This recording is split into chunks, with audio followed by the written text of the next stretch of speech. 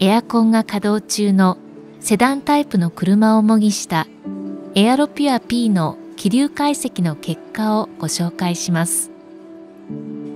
エアロピアとエアコンによって車内の空気が全体の隅々まで循環していることがわかります。エアロピアから出た風はエアコンの風に乗って車内全体に広がりエアコンの吸い込み口やエアロピアに吸い込まれて車内を循環します。このように